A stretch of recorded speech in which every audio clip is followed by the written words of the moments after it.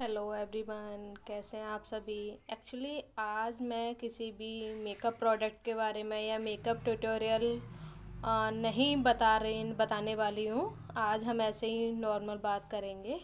Actually होता क्या है कि आज के टाइम पर भी लोग कहते तो हैं कि सारे प्रोफेशन बेस्ट होते हैं सेम हार्डवर्क होता है, सारी चीज़ें होती हैं।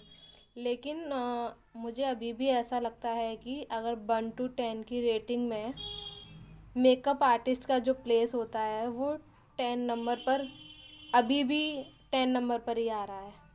ऐसा क्यों हो रहा है? चीज़ें समझ में नहीं आती, क्योंकि फैमिलीज़ होती हैं, अगर फैमिलीज़ में से आपके बच्चे, कोई वुमेन मेकअप आर्टिस्ट ये लाइन प्रोफेशन चूज़ करते हैं तो काफ़ी ज़्यादा मुश्किल होता है चीज़ों को समझाना।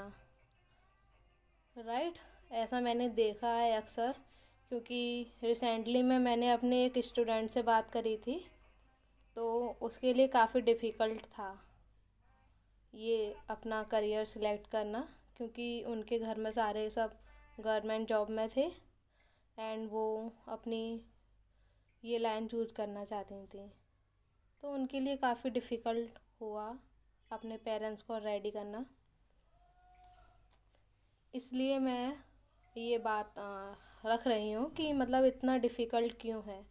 जबकि एक जो मेकअप आर्टिस्ट होता है, उसका जो प्रोफेशन होता है तो मैं तो ये कहूँगी कि सबसे फ़र्स्ट नंबर पर आना चाहिए एंड फ़र्स्ट नंबर पर ही उसको वैल्यू देनी चाहिए। क्योंकि आज के टाइम पर ग्रूमिंग इतनी ज़्यादा इम्पोर्टेंट हो गई है कि कोई भी बिना ग्रूमिंग के घर से बाहर निकलना पसंद नहीं करता है राइट आप इंटरव्यू देख लीजिए या फिर कोई भी प्रोफेशन देख लीजिए जब बात इंटरव्यू की होती है तो बातचीत करने के साथ साथ आ, उसकी सेल्फ ग्रूमिंग भी देखी जाती है कि किस तरीके के वो कपड़े पहने हुए हैं किस तरीके की एसेसरीज उन्होंने वियर कर रखी हैं। मेकअप किस तरीके का ज़्यादा हाई तो नहीं है। सारी चीज़ें देखी जाती हैं। एंड ये सारी चीज़ें जो नॉलेज होती है, वो एक मेकअप आर्टिस्ट के प्रोफेशन से रिलेटेड होती हैं राइट तो फिर भी लोग इस बात को नहीं समझ रहे हैं।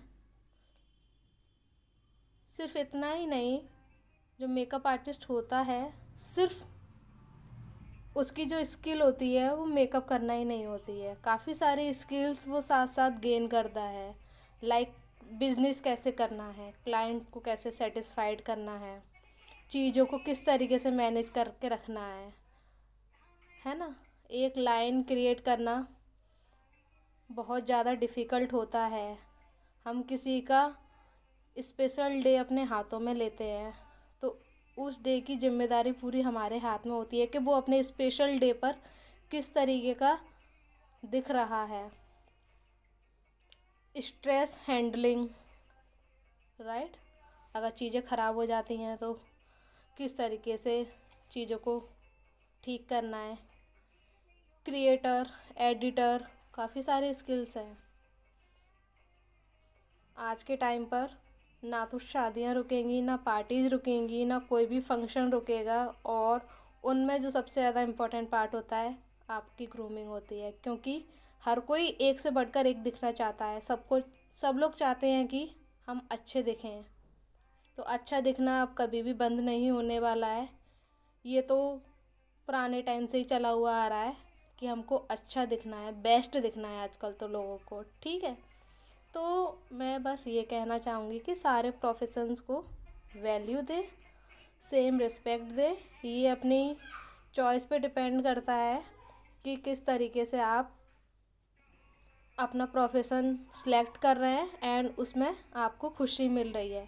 जब आपको अपनी चॉइस के अकॉर्डिंग आपका प्रोफेशन मिलेगा तो आपको खुशी भी होगी तो काम करने में मज़ा भी आएगा राइट आगे बढ़िए मोटिवेट करिए एक दूसरे को। डिमोटिवेट करने से तो कुछ भी वर्क अच्छा नहीं होता है तो सबको मोटिवेट करते रहिए, खुश रहिए, अपनी चॉइस का, अपने इंटरेस्ट का प्रोफेशन सिलेक्ट करिए, ताकि आपकी अर्निंग भी हो एंड हैप्पीनेस भी आपको मिले। तो थैंक यू एवरीवन मुझे यही कहना था आज। आपको अगर मेरी बातें अच्छी लगी हों तो रील को लाइक कर दीजिए। Thank you bye